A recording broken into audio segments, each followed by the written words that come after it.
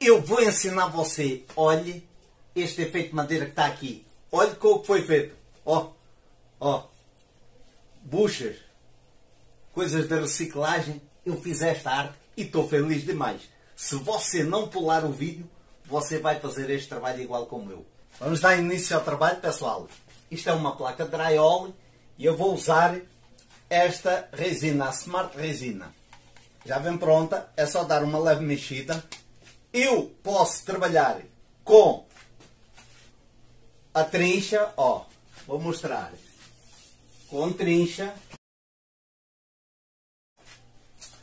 Eu mostrei como é que eu faço com trincha, mas eu também tenho que mostrar como é que você pode fazer assim, porque muitas pessoas, ó, eu já tenho aqui um pedaço aqui da resina aqui, ela é leitosa, mas quando seca fica, é, é branca, né? Quando seca fica incolor. Ó, e aí pessoal, me perguntam se pode, ser, pode passar com o rolinho ou pode passar, tenho que mostrar aqui, ó, eu vou tirar aqui, não traz quase nada, quase nada. Um, um litro dá mais ou menos para 10 metros, assim como está aqui. Agora pessoal, agora vamos à parte seguinte. Eu vou passar uma tinta cor camurça. A tinta que eu vou usar é esta. Zero trinca. Eu já tenho a cor feita, para não perder muito tempo. Embaixo, depois na descrição do vídeo, se quiser saber como é que eu fiz esta cor, eu estou a fazer a cor e, e tem a receita de como fazer esta cor camurça. Ó. Eu vou passar, ó.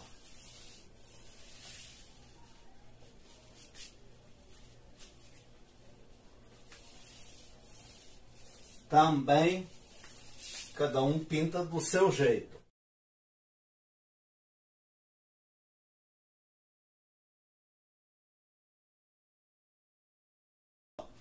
quase nada de tinta, eu já pintei metade da placa.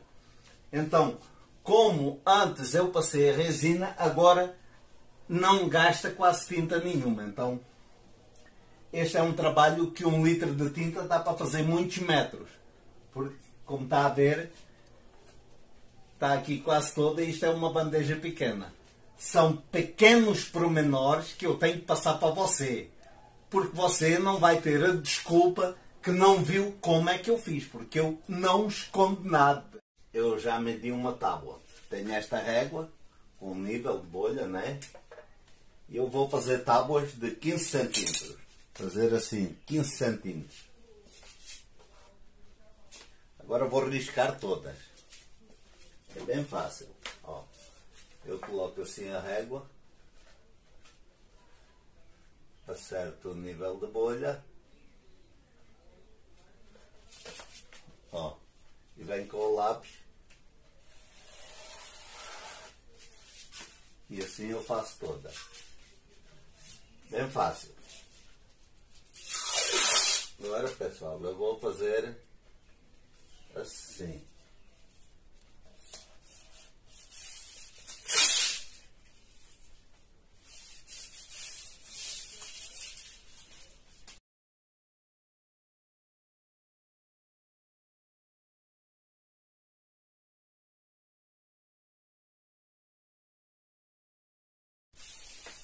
Eu pinto uma, deixo uma, pinto a outra e assim vou fazer em todas. Eu medi e cada tábua tem mais ou menos 15 centímetros.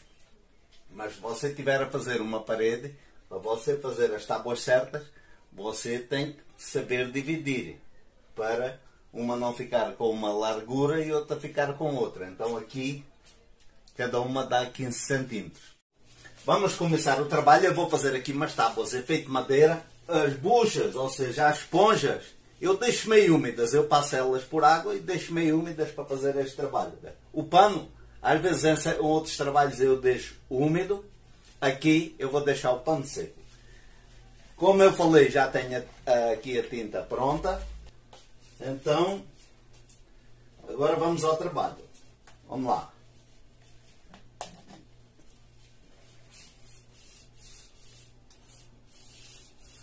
Como o pincel já é usado, ele fica um pouco mais duro. Ah, sempre você vem assim até cima até baixo. Não para no meio para não ficar marca. Só assim já dava o efeito de uma tábua, né? Mas eu quero diferente. Já vou adiantar, não pode demorar muito, mas já vou fazer esta aqui também.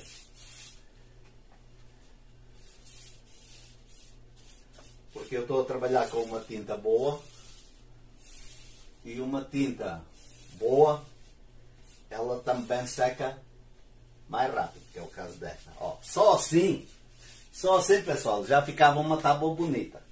Mas eu quero fazer um pouco diferente. Eu vou fazer com um pano seco. Ó, vou fazer aqui. Aqui ficou um. Ó. E aí, pessoal? E aí, pessoal, ó. Tira quase tudo. Aí. Eu quero deixar algum risco mais escuro. Ó. Bem fácil, pessoal. Bem fácil. Você pode fazer numa porta, uma porta velha, uma porta de madeira, pode fazer em muitos, muitos lugares. Agora eu vou fazer com esta bucha, com esta bucha velha, ó. Vou fazer aqui. Se eu quisesse, poderia fazer diferente, tirar com parte da esponja, ó. Cuidado aqui para não ficar a se conhecer.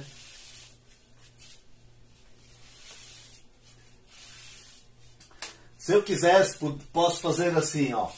Em qualquer espaço, tirar assim. Ó. Fazer assim. Tem muita maneira de fazer. Viu, pessoal? Ó. Eu vou passar por cima de novo para, para disfarçar, porque eu tirei um pouco, mas eu tenho fazer o disfarce para não ficar ó, né? Parecidas, mas nenhuma igual. O pano fez diferente da bucha. Eu sempre trabalho com, com as buchas. Bucha, que em Portugal se chama de esponja de lavar louça, aqui no Brasil se chama bucha. Sempre trabalho com ela úmida, sempre tenho um balde com água e vou logo limpando. Ó, este é o jeito, pessoal. Eu agora vou fazer nestas duas também. Mas depois eu vou querer uma ou outra mais escura. E eu depois vou mostrar para você como é que faço a mais escura. É para você, eu estou a ser até muito devagar. Ó, só não pode parar no meio se não ficar marca. Então você faz um trabalho, faz do início até o fim de uma tábua. Ó.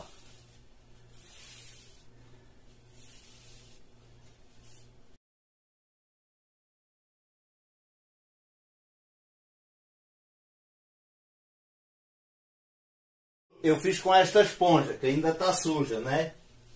Eu agora vou fazer com este coisa todo velho, ó. Ó, ó.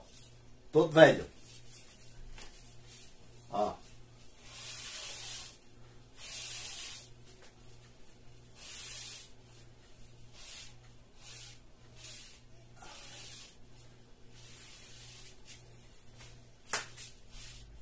Também quer tirar assim um pedaço mais, faz assim. Mas você quer depois disfarçar para não ficar a se conhecer todo claro, né? Então, pessoal, isto é muita maneira. Aqui tem que ter cuidado nas pontas para, para sempre sair fora. Ó, é muita maneira de você fazer efeito madeira, pessoal. Cada uma parecidas, parecidas, mas diferentes, né? Você vai falar que não consegue fazer efeito madeira. Ó. Você vê, bem velha, ia para o lixo. Olha o que eu faço arte uh, e não jogo estas coisas no lixo.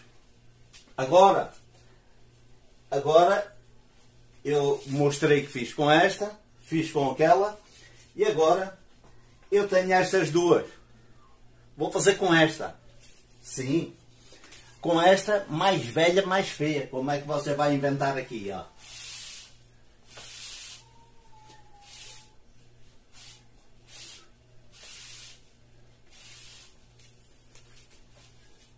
Ó. E aí, pessoal, ó. Também quero fazer assim uma parte mais, mais clara, mais, mais coisa. Você está a ver uma bucha velha, que também ia jogar no lixo. Então você agora não vai jogar no lixo porque você vai fazer arte com produtos de reciclagem. Ó.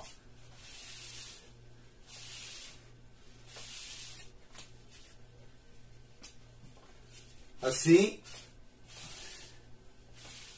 assim você inventa fazer umas tábuas diferentes com com quê? Com duas buchas e um pedaço desta parte aqui verde da bucha que agora nem lembro o nome e um pedaço de um pano de piso, um pano de chão, corta qualquer pessoa tem em casa. Este é novo, mas podia ser também velho. E você faz arte. Agora eu vou deixar secar, depois vou tirar as fitas daqui e fazer as outras. É bem fácil este trabalho, pessoal.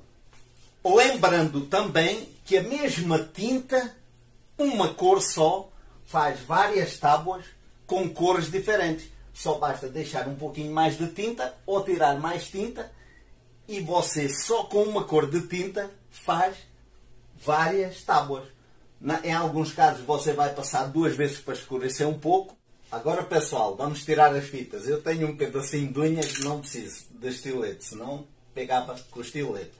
Então, agora vamos tirar as fitas que tínhamos, a fita crepe, né? Ó, vou tirar aqui para ver. Vou ver aqui para este lado, né? Aí pessoal, Dá para ver bem, né? Sempre tem que trabalhar com uma tinta boa, que é para não soltar a tinta de qualquer jeito, né? Ó. Agora, eu vou colocar a fita ao contrário porque eu vou pintar esta tábua. Eu vou pintar do mesmo jeito que eu pintei as outras, portanto nem preciso de fazer essa parte do vídeo. Vou utilizar outra bucha também diferente, ó. também uma bucha já meio usada, diferente. Ó. Agora, tem o risco que eu fiz com o lápis. Eu fiz o risco com o lápis. Então, este risco do lápis, nós vamos fazer o quê? Vamos passar a fita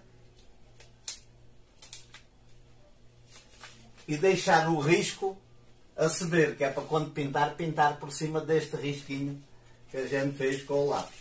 A mesma fita eu vou aproveitar para trabalhar deste lado, pessoal. Agora vou pintar do mesmo jeito. Ó, do mesmo jeito.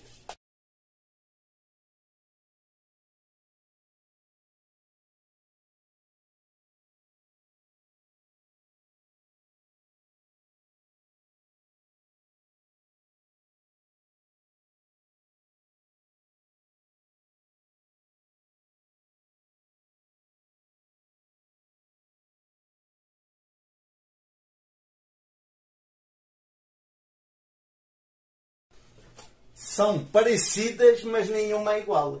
É isso que eu quero deixar para você a ideia. Aqui eu não gostei muito. Acho que está aqui uma marca que eu não gosto. Aí eu venho de novo. Só que tem que ser rápido porque seca muito rápido a tinta. Ó. De novo. De novo. Tira quase tudo com esta parte e depois com a outra você vem limpar mais um pouco e fazer o risco.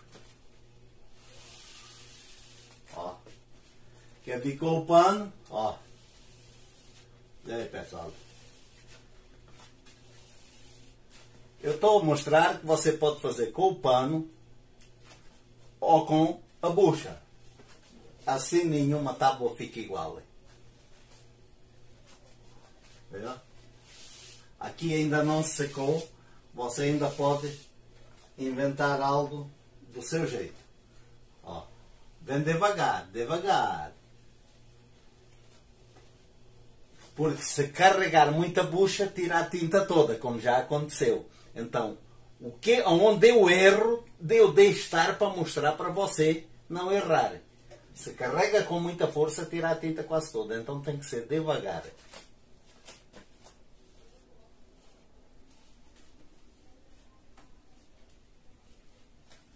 É aí, pessoal. É, pessoal. Está bonito demais. Vou passar aqui mais uma de mão. Já troquei as fitas, né? Por fitas novas. Uh, você pode passar quantas de mãos quiser e pode fazer as cores que você quiser. Portanto, para quem me vier perguntar se pode passar outra de mão, claro que pode. Só que eu não quero deixar muito escuro, mas aqui quero deixar duas um pouquinho diferentes. Então eu vou passar mais uma de mão para mostrar para você. Ó. É igual como eu fiz antes.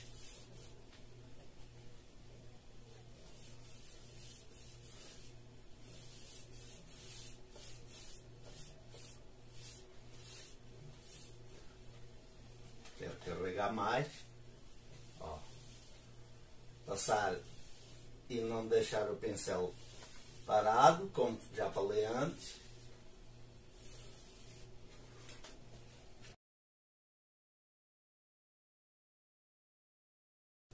Deixa atuar mais alguns segundos para segurar mais a tinta um pouco. Coisa de pintor, que eu também sei. Se você coloca a tinta e ela está fresca, você passa e passa de novo, então você está a tirar a tinta. Então você passa duas vezes no máximo, está bom. Ó, assim e assim. Tá bom, vou esperar um pouquinho. Agora vem devagar, com bucha devagar. Ó, devagar.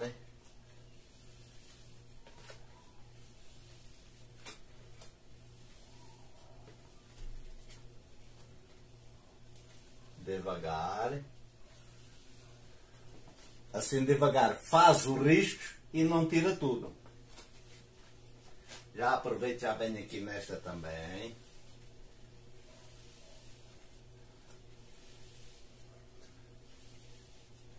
Com parte da esponja.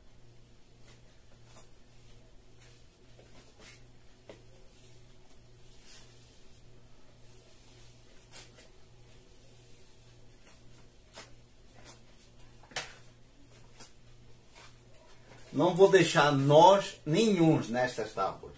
Às vezes em outros trabalhos uh, me falam que eu faço nós demais, mas se você quiser fazer um nó, pode fazer assim, ó. E depois já vem, quando deixa secar, já está um nó. Se quiser, pode colocar aqui um pouquinho de preto, mais preto na tinta, para deixar esta coisa. Mas eu não quero deixar nós nestas tábuas.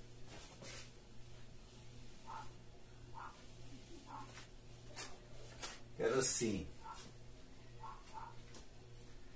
Vê-se que eu tirei, mas não tirei tanto como tirei das outras, porque eu quero elas um pouquinho mais escuras, né? Agora eu posso vir com uma, com esta que tem aqui o, que não tem tanto gasto, só tirar assim só um pouquinho, pouquinho, bem pouco. Só fazer assim os riscos, pessoal. Assim bem devagar. E aqui igual.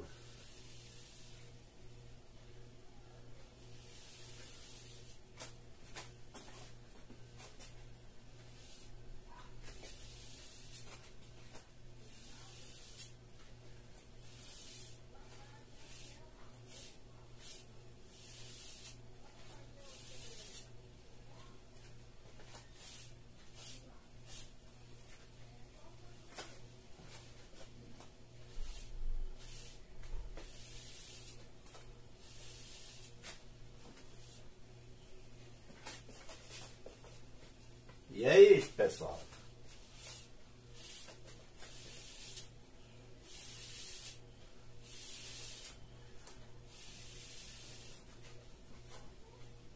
Ó, feito. Não mexo mais. Agora, pessoal, eu já vou tirar a fita. E eu, eu vou mostrar para você, assim que secar aqui, ó, já tira a fita.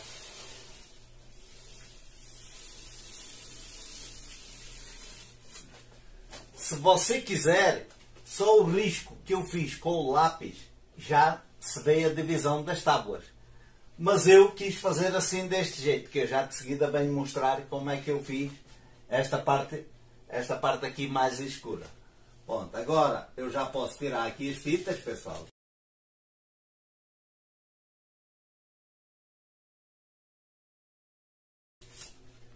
Se você tiver a gostar, eu já vou pedir aquele like. Se você deixar o like, o YouTube vai entender que o trabalho está bem feito e vai indicar para mais pessoas. É o único jeito que você pode me ajudar. E se ainda não é inscrito, faça a sua inscrição, que não paga nada por isso e vai ser muito bem-vindo. Este é dos trabalhos mais fáceis que existe para você fazer um lindo painel de TV, uma cabeceira de cama, uh, faz muitas artes assim deste jeito e efeito madeira sem ser madeira, não é? Agora vou usar este ó, pincel atômico. É um marcador permanente, também se chama de canetão. Ó, sempre que você deixa ele sentar a trabalhar com ele, deixa ele assim com o bico para baixo para o bico não secar. Uh, vamos lá. Eu vou encostar aqui, como já falei, podia ficar assim que já ficava bonito, mas eu quero a se conhecer melhor. Então, eu desvio a régua quase a mesma distância da largura do aqui do pincel atômico, do canetão. Porque ele vai encostar aqui e ó, bem devagar. Ó.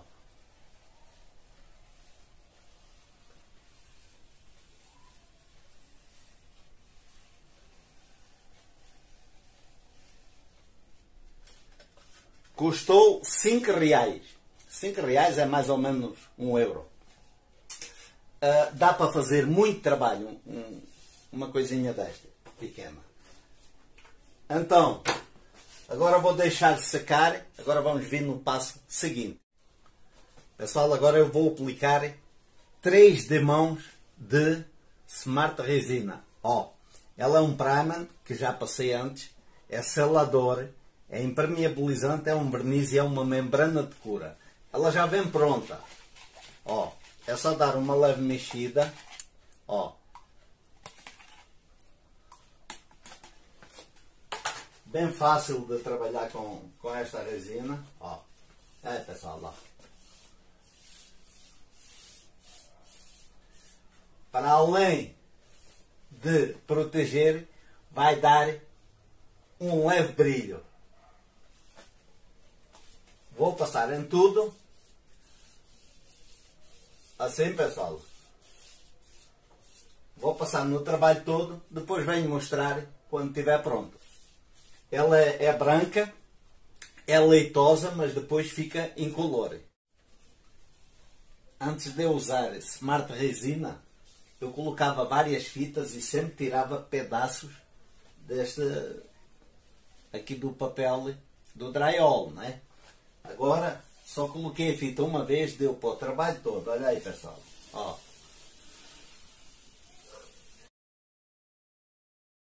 Olha aí, pessoal.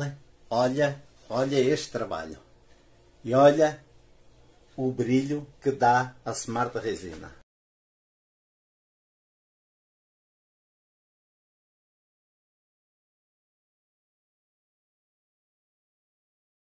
Olha, você pode fazer um painel de TV, uma cabeceira de cama. Olha. Olha aqui. Olha bem de perto, pessoal. Bonito e um trabalho muito fácil de fazer.